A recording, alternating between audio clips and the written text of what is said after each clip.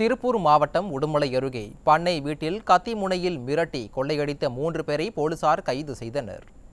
திருப்பூர் மாவட்டம் சின்னகுமாரபாளையத்தில் உள்ள பண்ணை வீட்டில் சவுந்தரராஜன் குடும்பத்தினர் உறங்கிக் கொண்டிருந்த போது வீட்டின் கதவை மர்ம தட்டியுள்ளனர் இதனையடுத்து சவுந்தரராஜன் மனைவி வீட்டின் கதவை திறந்த நிலையில் உள்ளே நுழைந்த மர்ம நபர்கள் கயிற்றால் கட்டி கத்தியை காட்டி மிரட்டியதுடன் ஒன்பது சவரன் தாலிக்கொடி வைர கம்மல் இருசக்கர வாகனம் மற்றும் இருபத்தி நான்காயிரம் ரூபாய் ஆகியவற்றை கொள்ளையடித்து சென்றனர்.